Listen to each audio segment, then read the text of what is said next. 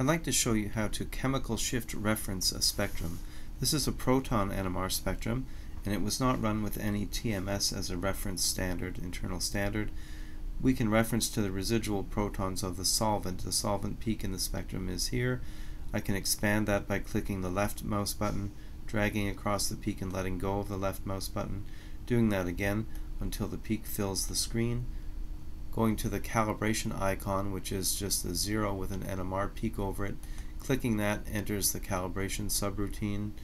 If I click the middle of that peak with the left hand mouse button I can input the correct value for chloroform which is 7.26 click on OK. That exits the calibration subroutine sets the center of this peak to 7.26 ppm I can reset my scales and the spectrum is now correctly referenced.